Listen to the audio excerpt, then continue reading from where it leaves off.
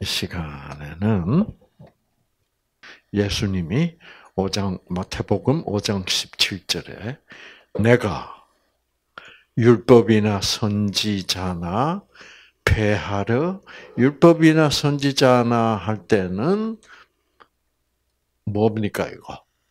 구약 그렇죠. 그를 폐하러 온 줄로 생각하지 말라. 폐하러 온 것이 아니요 완전케 함이로다. 자, 그러니까 모세 구약 성경의 율법 이나 그 구약 성경을 폐하러 온 것이 아니다. 라고 예수님이 말씀하시는 이유가 뭘까요? 어, 바리새인과 서기관들은 자꾸 예수님 보고 뭐라 그래요? 이 예수라는 작자가 모세 율법을 뭐예요? 폐한다. 이래서 그래요.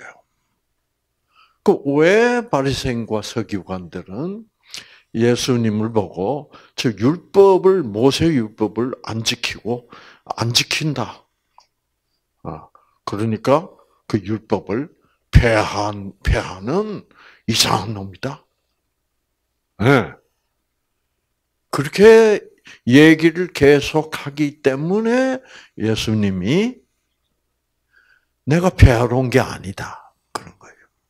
그런데 실제로 예수님이 하시는 행동을 보면 율법을 폐하는 것 같아요. 어, 그렇죠. 네. 자, 우리가 요한복음.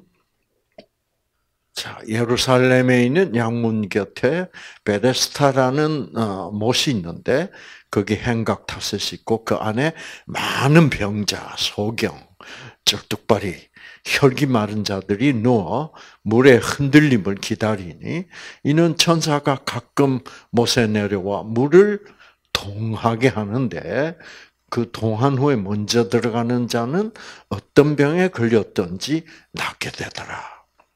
이제 이 얘기도 여러분이 다시 우리가 배워야 됩니다.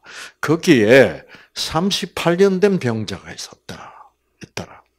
예수가 그 누운 것을 보시고 병이 벌써 오랜 줄 아시고 이르시되 네가 낫고자 하느냐. 네.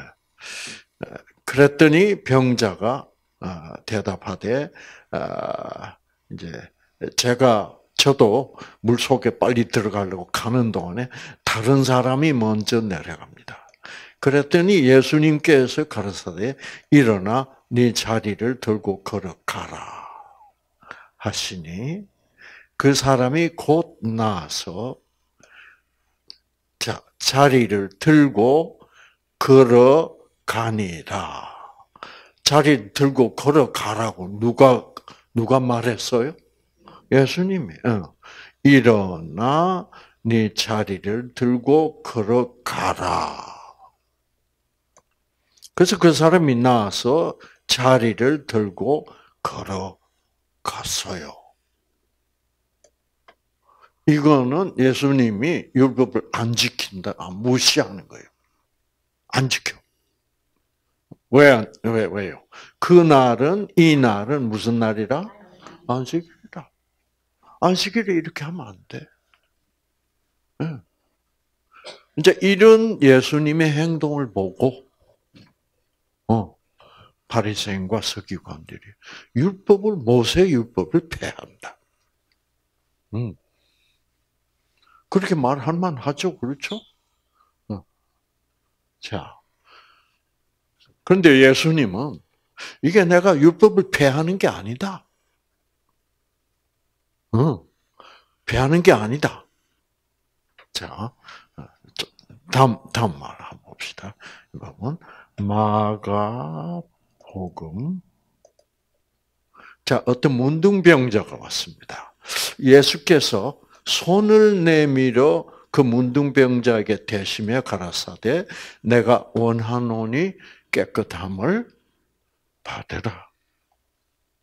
이것도 율법 안 지키는 거예요. 왜? 문둥병자에게는 아무도 손을 대면 안 돼. 모세율법대로. 그러니까 이제 이런 거를 보니까 바리새인들, 서기관들은 저왜 율법을 안 지키냐 말이야. 그렇게 말할 수밖에 없죠. 어. 그 예수님 왜, 왜 이러죠?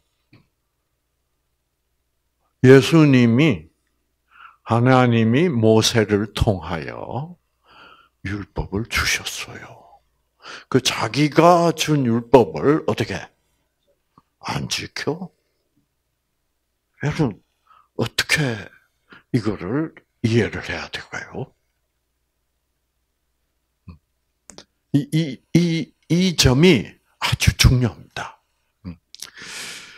자, 자, 우리가 마태복음 5장 17절로 다시 돌아가겠습니다. 내가 율법이나 선지자나. 그래서 내가 너희들이 보기에는 내가 모세 율법을 어떻게 무시하고 패하는 것 같이 보이지? 아니다 이 말이에요. 아니라 어떻게 하러 왔다? 율법을 완전케 하려 왔다. 이걸 알아야 돼. 이걸 모르면 여러분이 제가 던진 이 질문에 대답을 못해. 저도 옛날 오랫동안 제가 이, 이 이걸 이해를 못했어. 못하면 아이 이 성경을 아, 도무지 어떻게 이해를 해야 될지 모르는 겁니다. 자 보세요. 요한복음 8장에 가보면 아침에 성, 성전으로 들어오시니 백성들이 다 나와 앉아서 예수님이 그 백성들을 가르치셨다.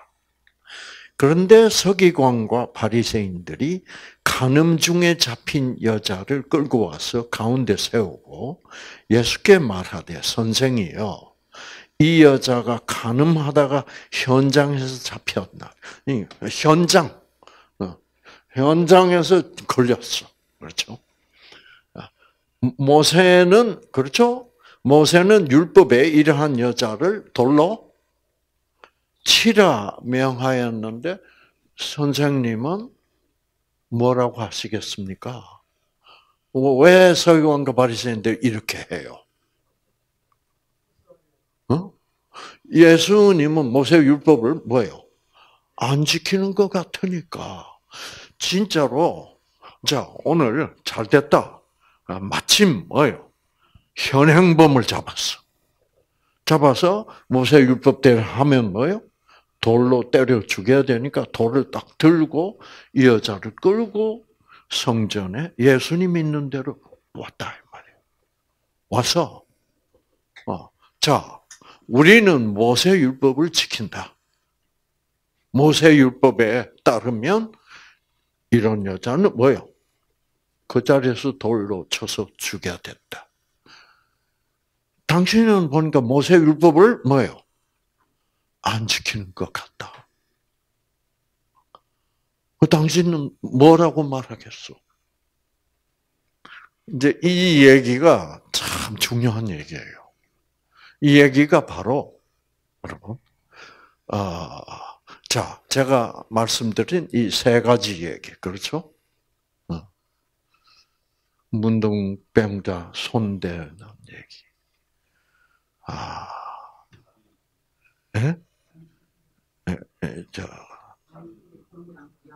어, 38년 된 환자, 안식일인데 뭐예요? 어, 오늘은 안식일이니 여기 가만 누워서 쉬다가, 어, 안식일이 지나고 내일이면 어떻게 자리를 들고 걸어가라고 해야 맞아요. 그래야 맞아요. 어. 근데 요즘 그것도 안 해. 율법을 막 무시해. 여기 서교관과 바리새인들이 모세 율법대로 돌을 딱 들고 왔는데 돌 들고 이 여자를 끌고 왔는데 예수님은 어떻게 해요? 그 과정은 제가 따로 이제 말씀드려야 되겠지만 하여튼 그 결과는 어떻게 나타났어요? 어, 그 여자를 뭐요? 구원했어요. 죽여야 될 여자를. 그런데 서기관과 바리새인들은 아무 말도 뭐예요? 못했어. 음. 이게 아주 중요한 얘기. 자, 일단은 여러분 아, 이런 예수님이 겉으로 보기에는 모세 율법을 폐하고 있어요, 안 있어요? 네, 모세 율법을 폐하고 있어요. 어. 그러나 예수님이 마태복음 5장 17절에서 말하셨듯이 폐하러 온 것이 아니다. 내가 율법을 폐하고 있는 것이 아니다. 나는 율법을 뭐 하러 왔다? 완전케 하러 왔다.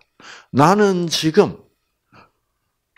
너희들이 지키는 그 율법을 완전케 하고 있다. 그 너희들이 지키고 있는 모세 율법은 불완전한 것이다. 그렇죠? 그래서 나는 그 율법을 어떻게 완전케 하고 있었다. 그래서 모세 모든 율법을 완전케 하면 뭐가 된다? 사랑이 된다. 사랑이 된다. 를 보여주고 있는 거예요. 음. 자, 모세 율법은 어, 그래서 예수님이 그 예를 쫙 드는 거예요. 어, 자, 여기 보면 살인하지 말라. 누구든지 살인하면 심판을 받게 되리라 하였다는 것을 너희가 들었으나 누구로부터 들었으나? 모세로부터 들었으나. 자 모세는 모세는 모세 율법으로 그렇게 너희들에게 가르쳤고 너희는 그렇게 들었다. 그러나 들었으나 하는 건 뭐예요? 그러나 이 말이에요. 나 그러나 나는 너희에게 이르노니 형제에게 노하는 자마다 그렇죠. 그러니까 아, 그러니까 형제에게 노하는 노하는 것도 뭐 하는 것이다? 살인하는 것이다. 어. 그래서 살인하지 말라는 그 율법은 불완전하다. 내가 이 살인하지 말라는 아, 불완전한 계명을 완, 어, 더 완전하게 하면 형제들에게 뭐예요? 노하는 여러분 화내는 것도 살인한 것이다. 미워하는 것도 살인. 그러면 미워하는 것이 사, 살인이면 뭐 하라는 얘기요? 사랑하라는 얘기지. 그러니까 원수라도 사랑하지 않으면 그거는 사랑하지 않고 그 원수를 미워했다면 너는 뭐예요? 살인한 것이다. 그렇게 예수님이 지금 살인하지 말라는 율법을 어떻게 하고 있어 지금? 완전케 하고 있다 이 말이에요. 완전케 한다는 말은 더 어렵게 만든다는 말이에요. 더 어렵게 만들어야 어떻게 되니까? 아하, 하나님이 주시는 율법은 우리 인간이 지킬 수 없구나. 라는 거죠. 이때까지 모세가 준 율법대로 하면, 아, 난 사람 안 죽였어. 그럼 안 죽였으면 율법을 어떻게 지킬, 지키는 것처럼 돼버린다. 그게 불완전했다.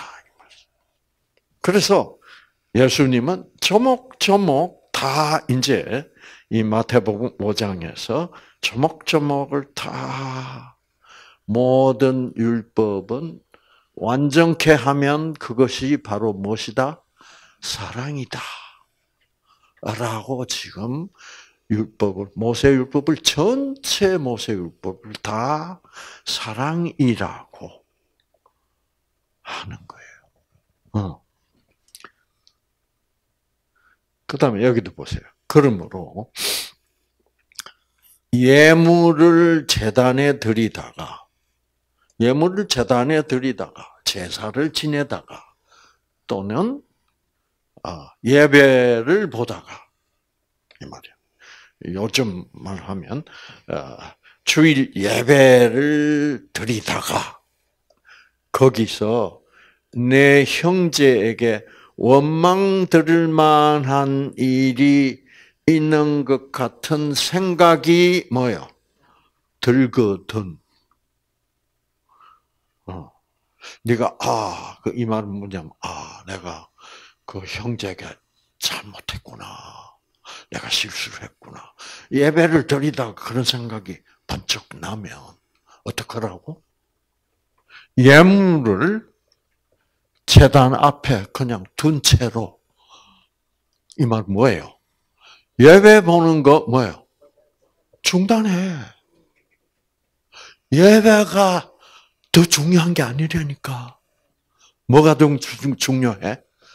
어, 예배 보다가도 그 형제한테 가가지고 어떻게 두고 먼저 가서 형제와 뭐요?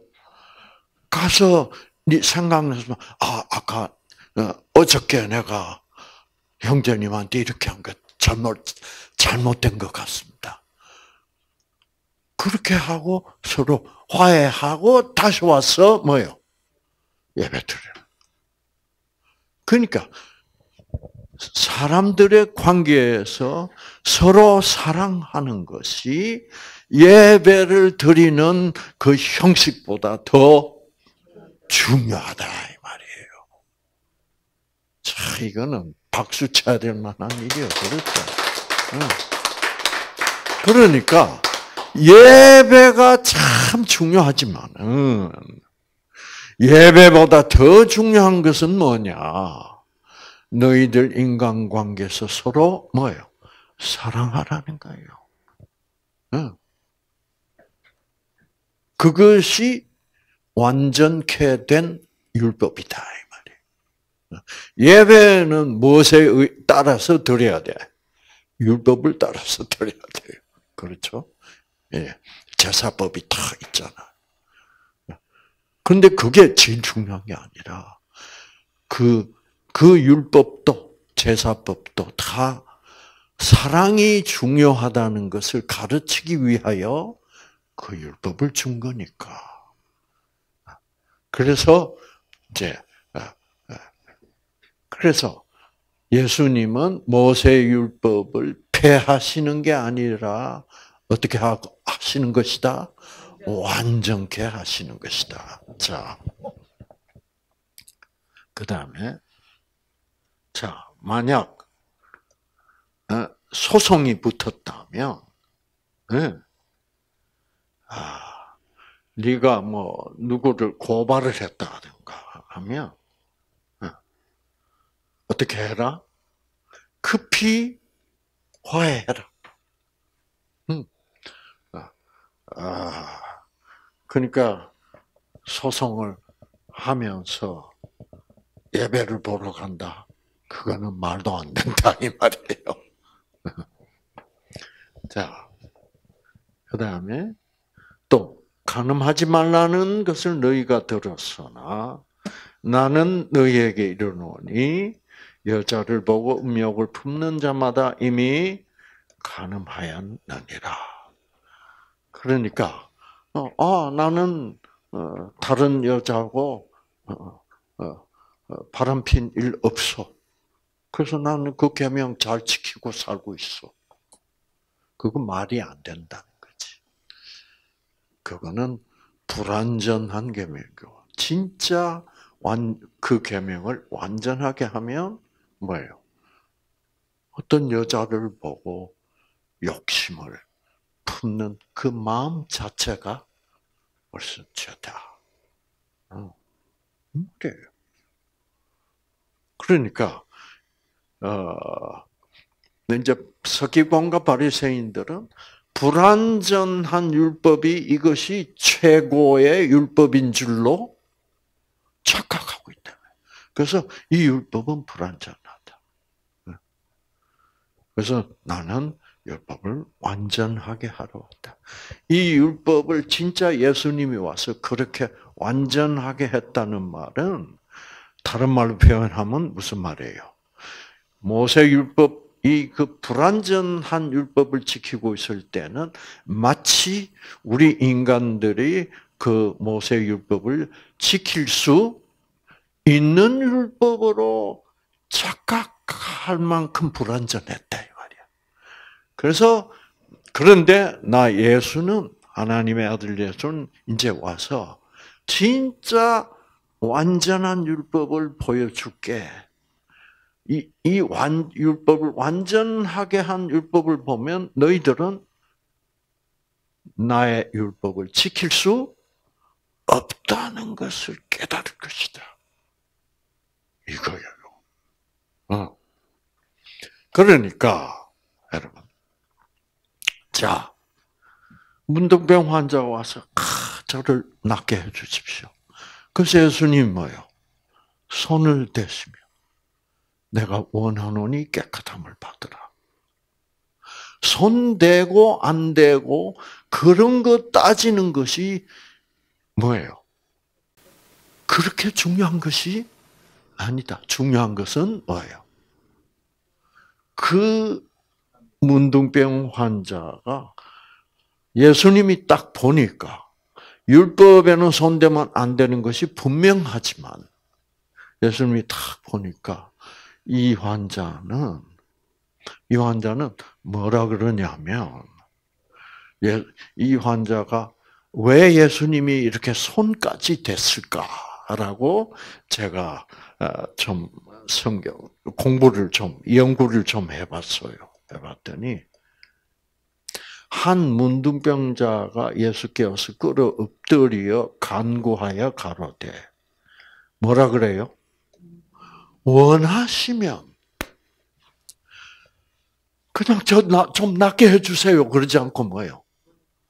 원하시면 그 다음에 저를 깨끗해 하실 수도 있나이다. 아주 복잡해. 이거 뭐 하고 있는 거야, 이 문둥병자는?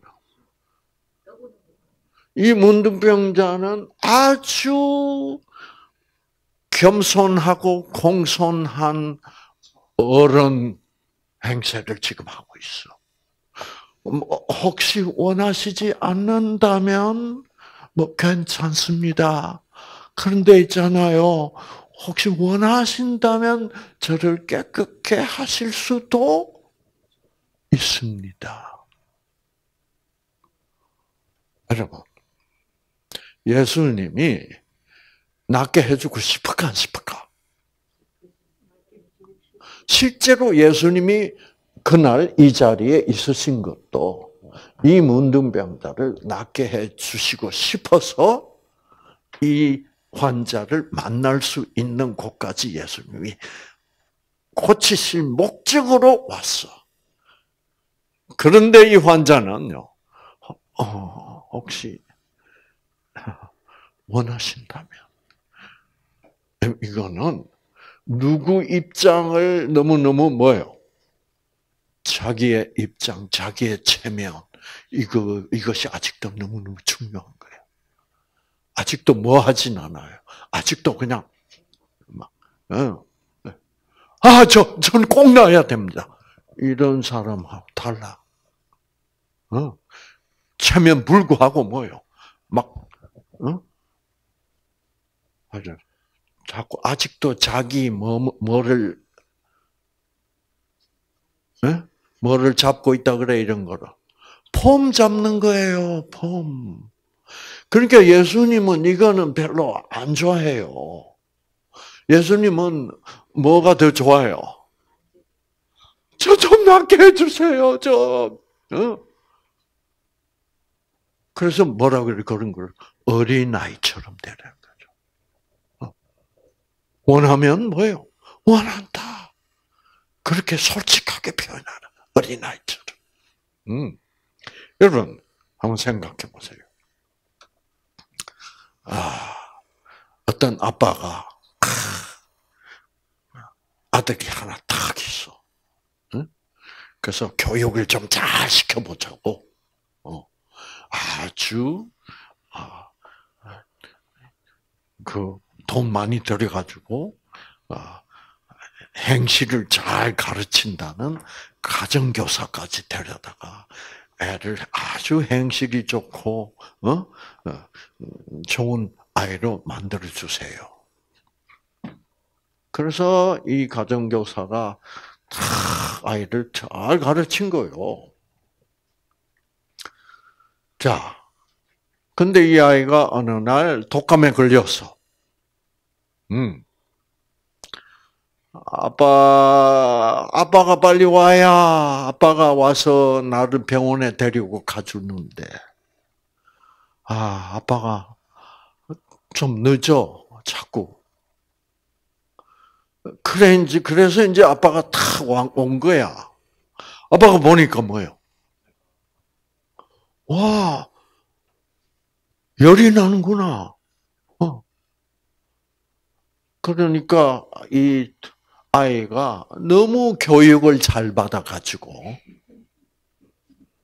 아버님, 오늘도 직장에서 얼마나 시달리시고 피곤하시겠습니까?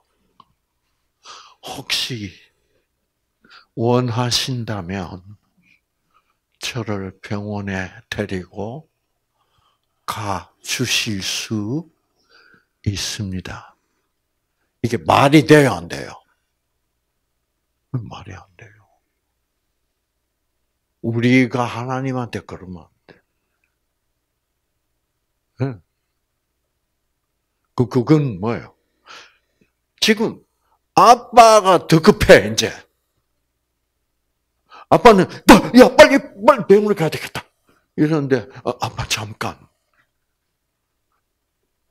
사무실에서 얼마나 힘드셨습니까? 피곤하시다면 안 가도 되는데요. 이러면 아빠가 기가 꽉 막힐까 안 막힐까? 네. 우리가 하나님께는 그렇게 착해야 되는 게 아니에요.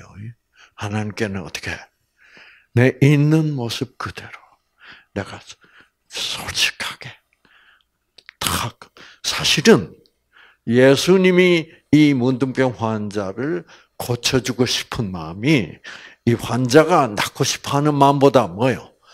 더 크다니까요. 음. 여러분 그런데 이 성경을 보면 어, 이상한 말이 있습니다. 음? 보면 누가복음 제가 금방 뭐라 그랬어요? 예수님이 고쳐주고 싶은 마음이 더 간절해. 환자보다. 그런데 여기 이상한 말이 나와요.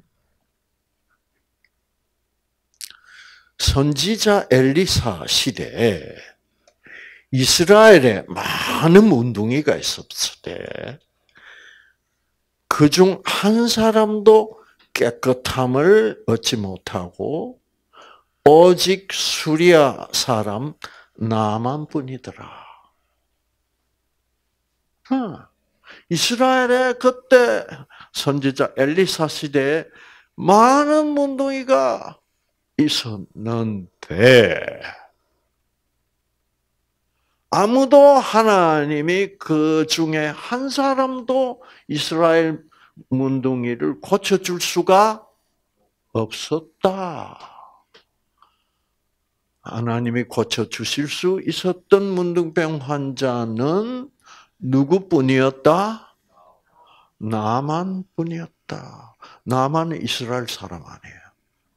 이스라엘 바로 쪽에 시리아. 그리고 그 당시 엘리사 시대에는 그 시리아가 항상 이스라엘을 쳐들어와서 괴롭히고 사람들을 노예로 잡아가고 재산을 약탈하고 그랬어요. 그래서 이스라엘의 원수가 바로 뭐예요? 시리아야. 그런데 시리아하고 이스라엘하고 전쟁 칠 때 그 전쟁을 총지휘하는 시리아의 군대 장관이 나만이에요. 근데 나만도 문둥병에 걸려 있었어. 그래서 이스라엘에 그렇게 많은 문둥병자가 있어도 시리아에 나만만 하나님이 고쳐줄 수 있었다. 이 말이야. 무슨 말일까, 이거? 왜 하나님은 그 수많은 이스라엘의 문둥병 환자를 고쳐 주실 수가 없었을까? 네, 여러분. 이게 이제, 네, 여러분이 배우신 대로 지금 우리가 지난 여섯 번 강의 에서 나온 게 결국 하나님은 어떤 사랑의 하나님이다? 무조건적 사랑의 하나님이다. 음.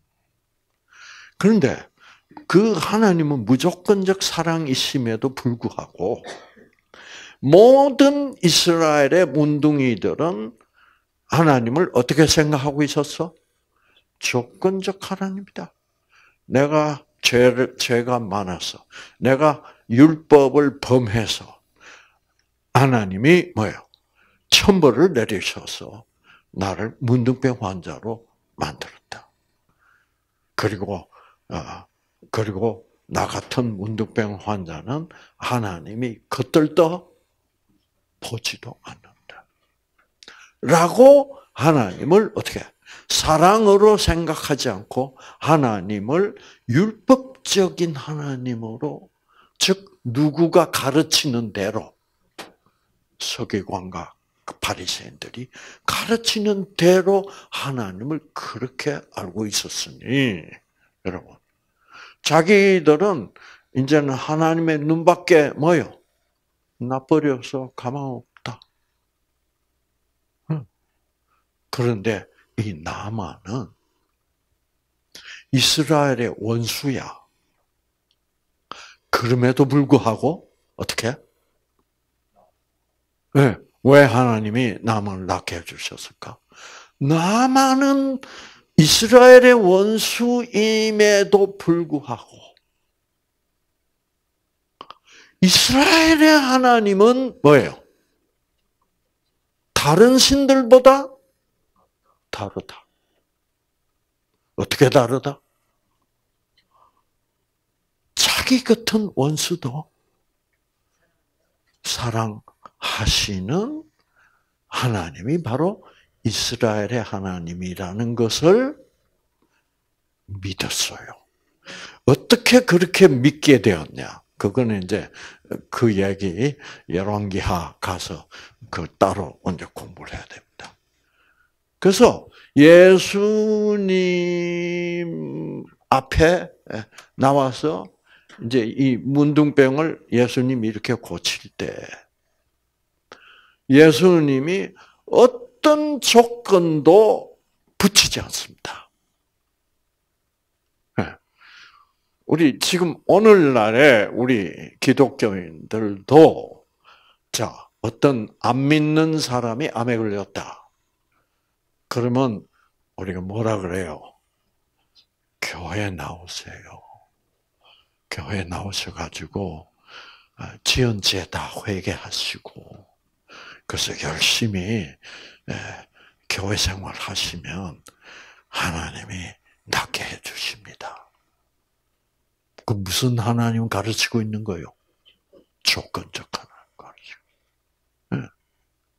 그런데 이, 이, 이, 이 문둥병 환자가 탁 왔을 때, 아, 이 문둥병 환자는 아, 자기가 하나님에게 이렇게 낫게 해달라고 부탁한다는 것이 아, 예수님을 뭐요?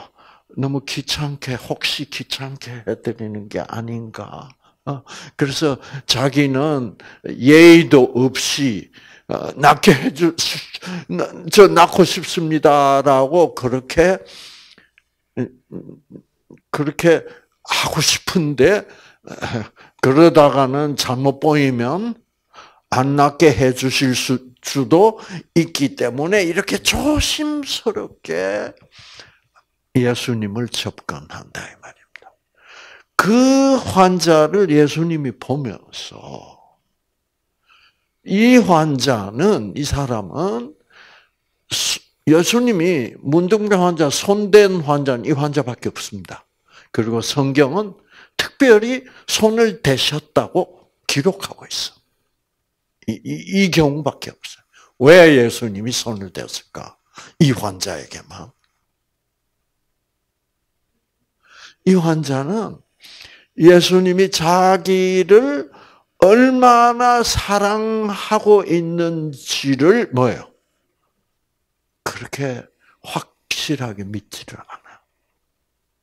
그러면 예수님이 어떻게 해줘야 돼요? 너는 보니까 아직도 나를 잘 몰라. 그럼 믿음이 없어. 뭐 원하신다면이 뭐야? 가서 더 믿음 더 키워가지고 다시 와. 그러시지 않아. 믿음이 부족한 이 환자는 예수님이 뭐요? 볼 때. 자기가 사랑의 표현을 더 뭐요? 더 강하게, 더 진하게 해줘야 자기 마음을, 자기의 사랑을 이 환자가 더 강력하게 느껴야지. 그러니까 사랑 속에 생기가 있고 그 생기가 들어가야 유전자가 켜져서 어, 면역력이 강해져서 문둥병 균을 확 죽일 수 있단 말이에요. 그러니까 예수님은 지금 믿음이 부족해서 자꾸 자기 예의만 차리려고 그러고 그런 사람이니까 그러면 어, 그러면 이 이 문둥병 환자를 낫게 하는 것은 생기고 그 생기는 사랑 속에 있단 말이에요. 그러니까 예수님은 생기를 더 주시기 위해서도 일부러 나는 너를 이렇게 사랑한다. 라는 표현을 해 주셔야죠. 그렇죠. 어. 여러분, 문둥병 환자는 완전 뭐요? 어떻게 살아야 돼요? 완전 격리입니다. 아시겠죠?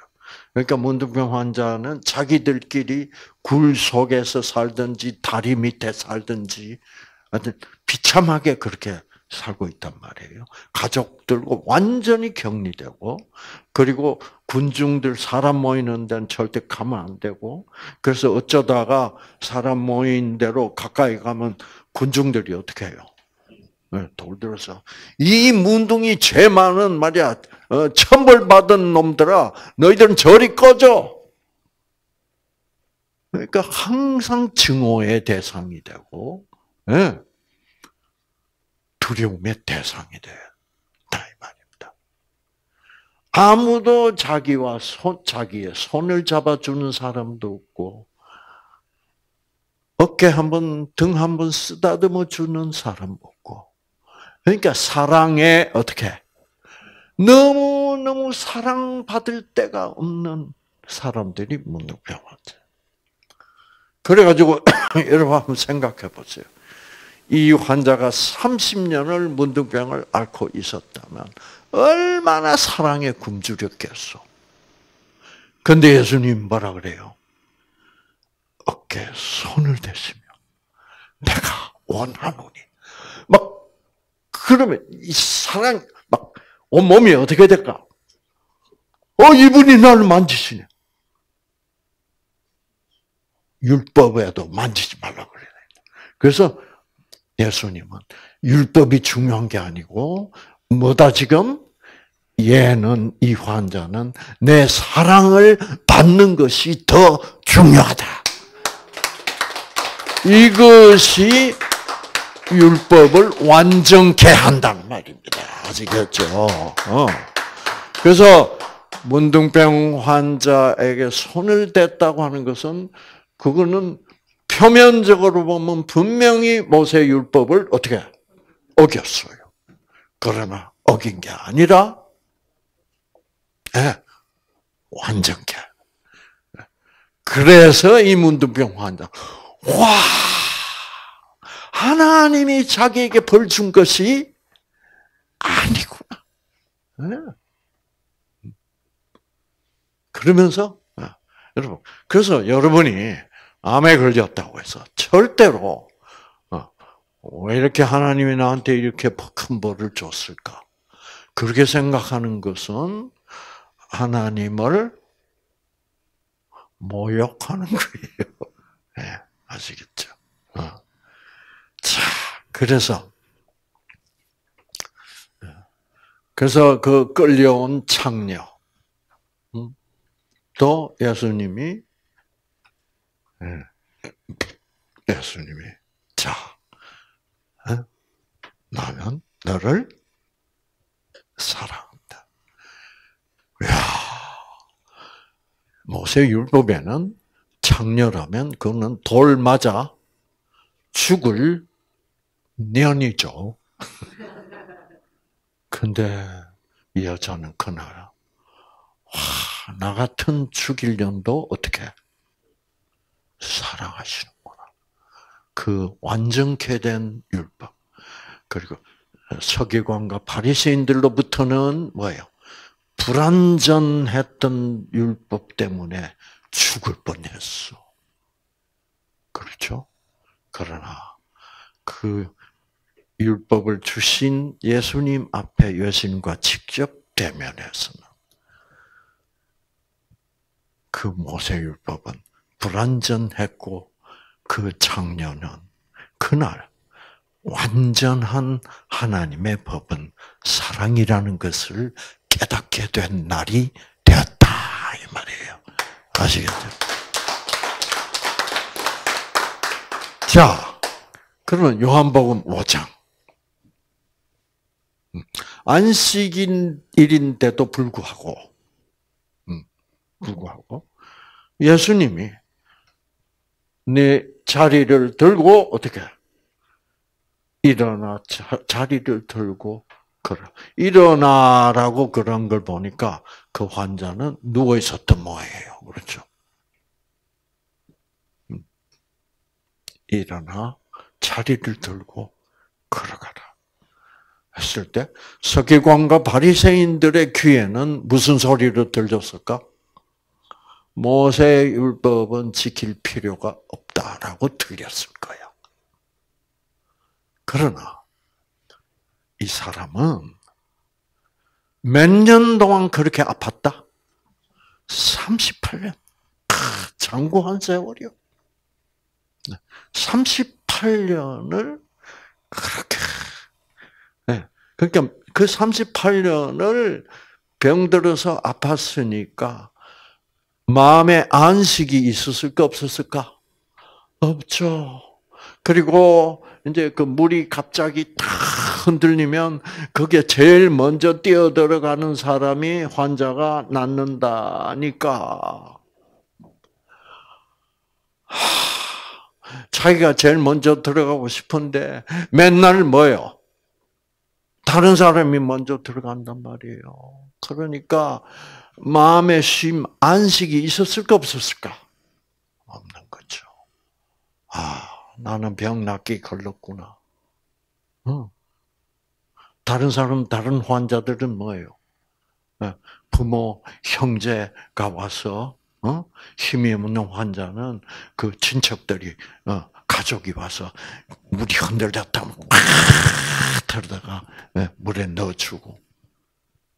자기는 38년 동안 아파서 그렇게 있으니까 가족이란 거 있겠어 없겠어? 가족 없죠. 그렇죠. 그동안 그 당시는 수명이 대충 40 40대 중반이야. 근데 예수님이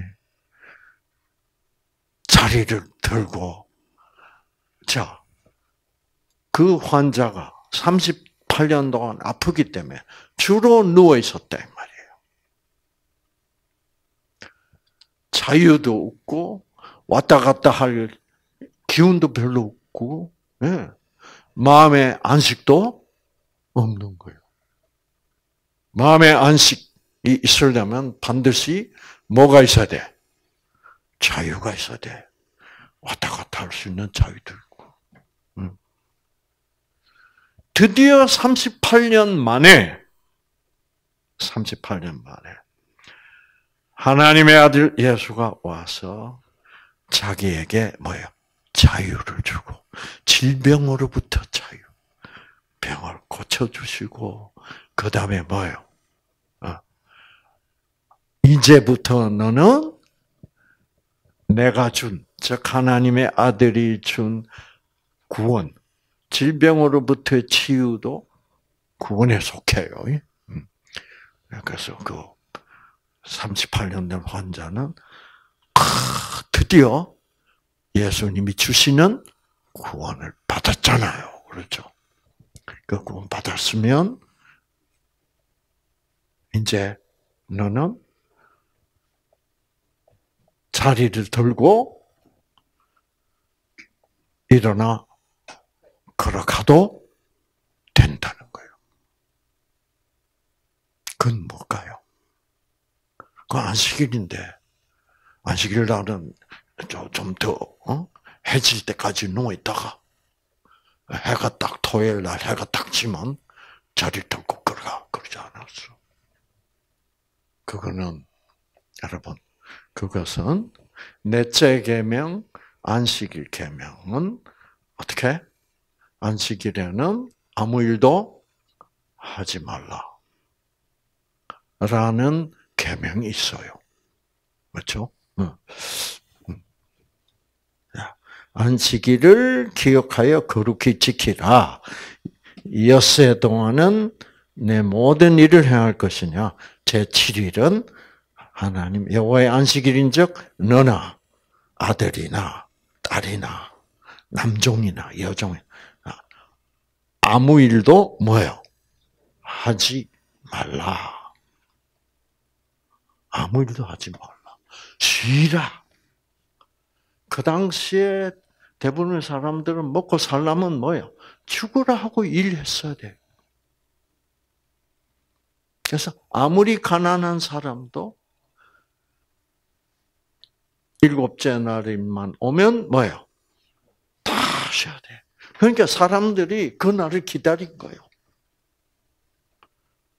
안식일이 오 우리 이제 쉴 텐데. 얼마나 좋은 날이야. 네. 다 종들도, 그렇죠. 종들도 다 쉬게. 네. 그 말은 뭐예요? 쉼, 쉼이란 것은 안식은 구원이 구원을 상징하는 거예요. 구, 구, 구원은 누구에게든지 다 뭐예요? 차별 없이 공평하게 주어지는 것이다. 라는 뜻이 누구에게든지. 네. 그래서 아무 일도 하지 마라. 이 말은 뭐 그러니까 모든 모세의 율법은 다 아무 일도 하지 말라는 명령으로 기록되어 있지만 이것은 무엇이다? 약속이다, 여러분. 그렇죠? 그러면 이 안식일 계명은 무엇을 약속하는 것일까? 모든 약속은 단 하나, 하나의 약속인다고. 예수님이 오신다는 약속이야. 와서 뭐 하신다? 구원하신다.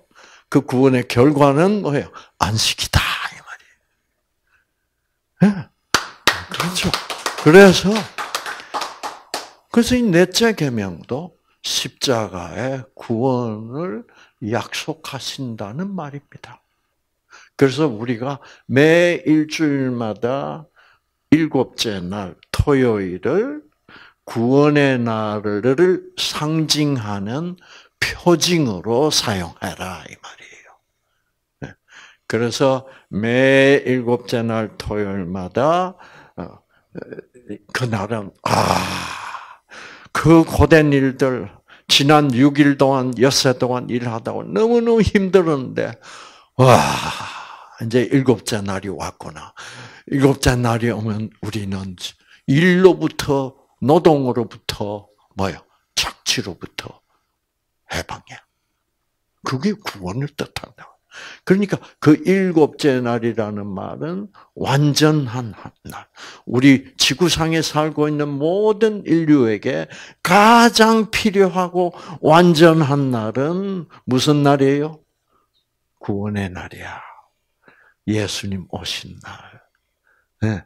예수님 오 십자가에 못 박히신 날, 그 날로서 우리의 안식은 시작된다 이 말이에요. 그렇죠? 그렇죠.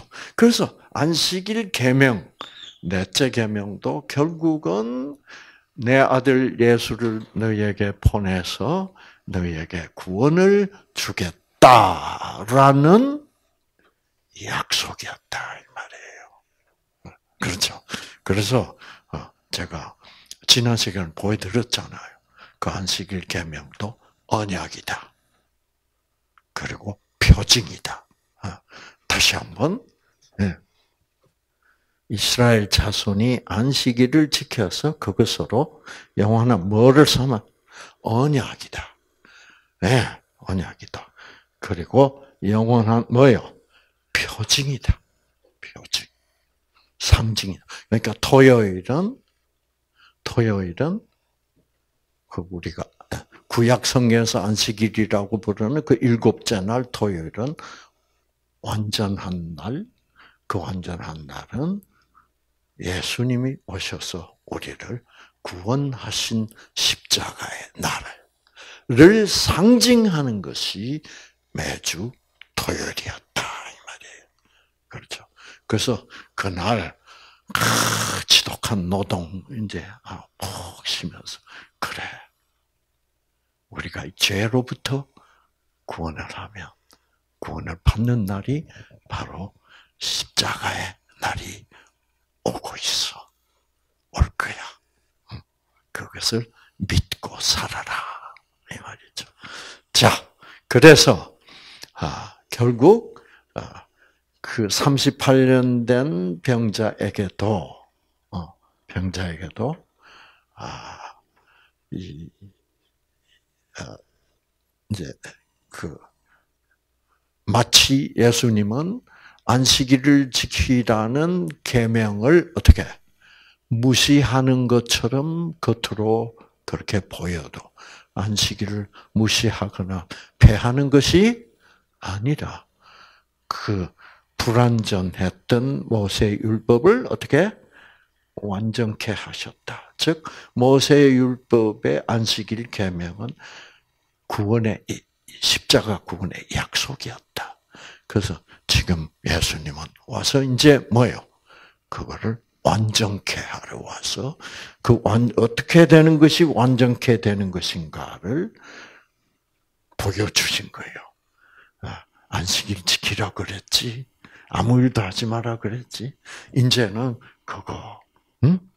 네, 그거는 이제 불완전해서 지금 내가 와서 곧 십자가에 달려서 죽고 영원한 안식을 어, 누리게 될 것이다. 아, 그래서 여러분 어, 예수님은 절대로 모세율법을 폐하러 오신 것이 아니다. 완전케 하러 오셨다는 말이 이런 뜻이구나. 그리고 여러분, 아, 그 성전에 끌려온 그 장녀에게도 예수님은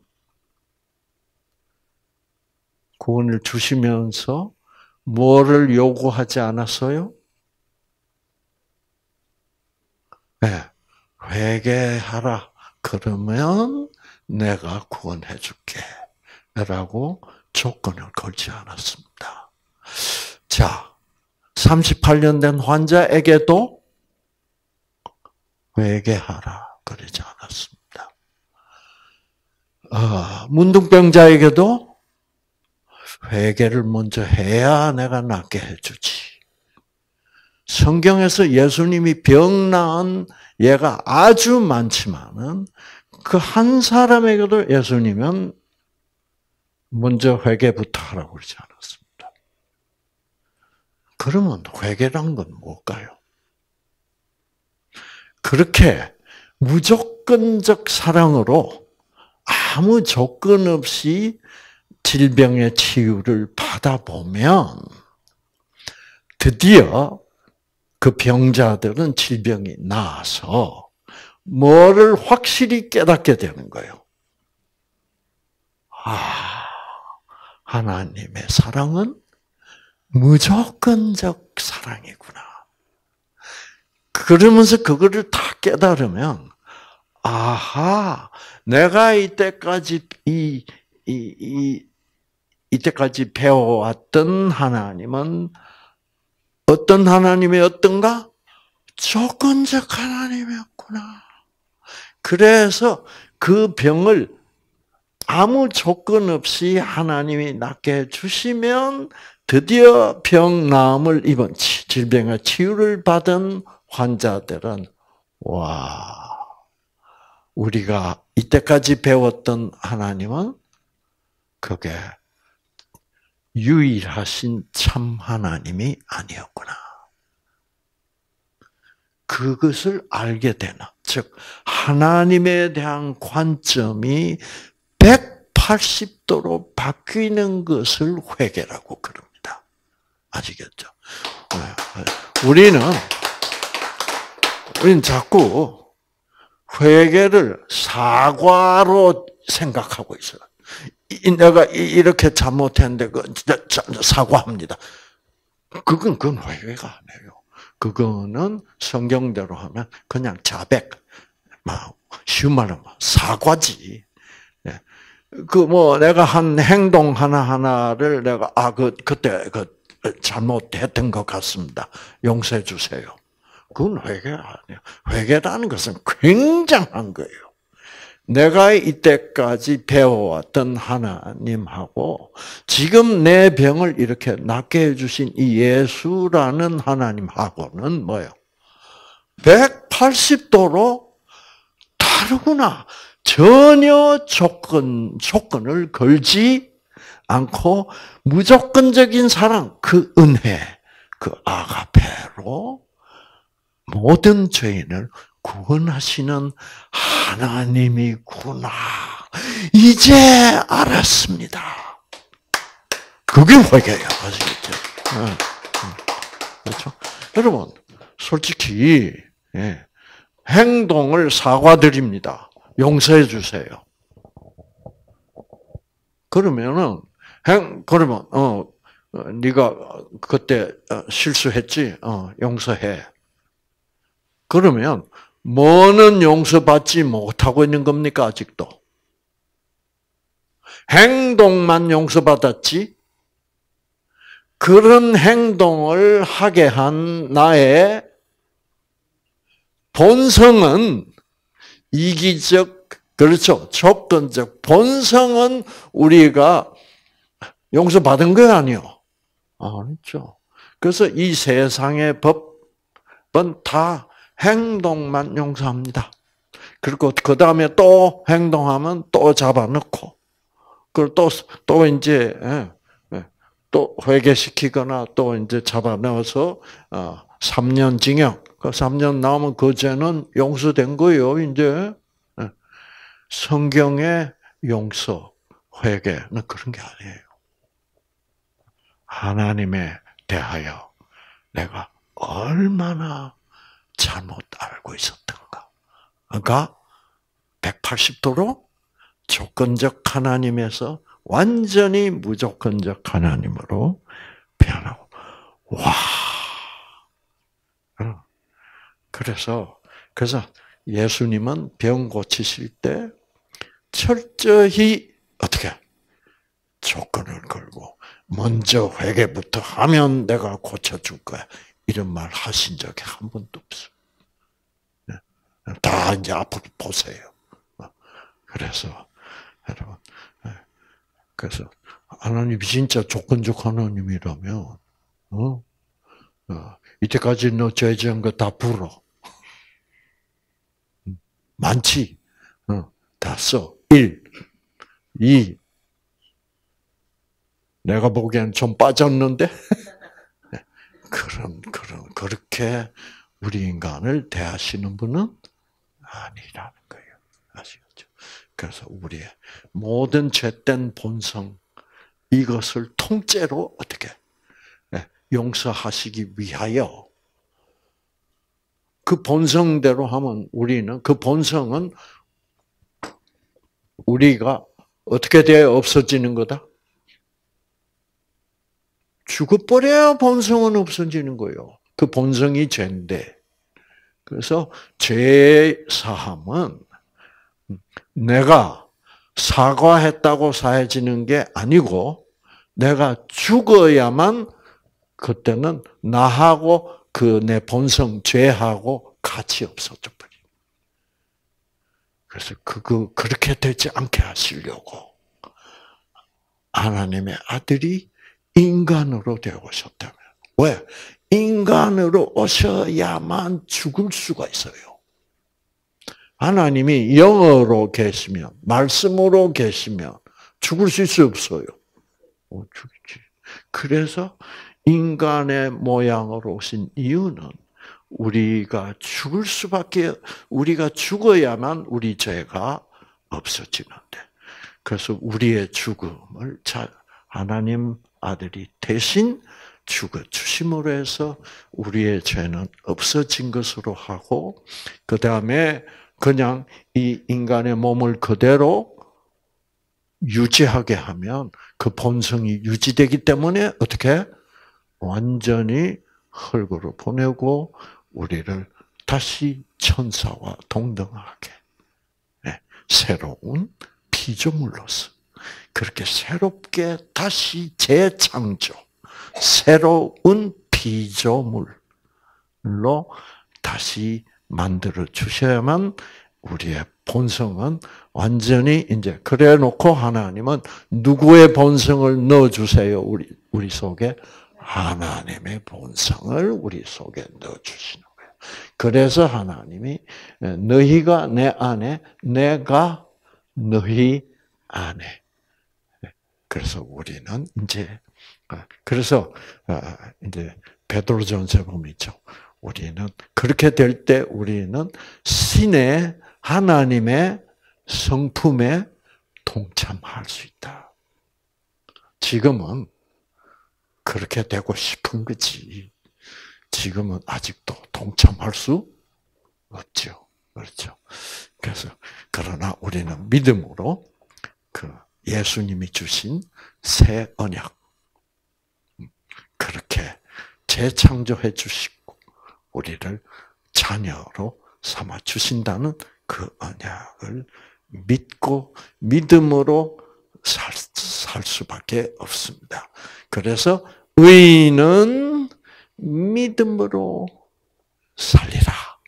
여러분들 함께 믿음으로 끝까지 믿음만은 절대 그 믿음만은 절대로 포기하지 마시고 끝까지 믿음을 지키는 여러분 모두가 되시기를 바랍니다. 아시겠죠?